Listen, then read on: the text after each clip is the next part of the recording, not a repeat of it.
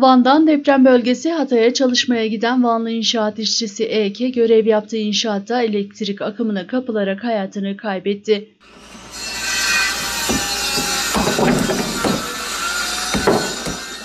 Edinilen bilgiye göre Hatay'da yapımı devam eden konutlarda çalışan inşaat işçisi EK çalıştığı esnada elektrik akımına kapıldı.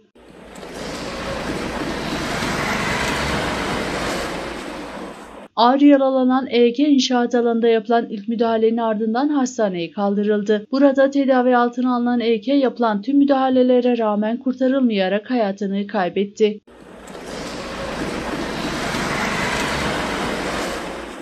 EK'nin Tuşba ilçesine bağlı Dilimli köyüne kayıtlı olduğu öğrenildi.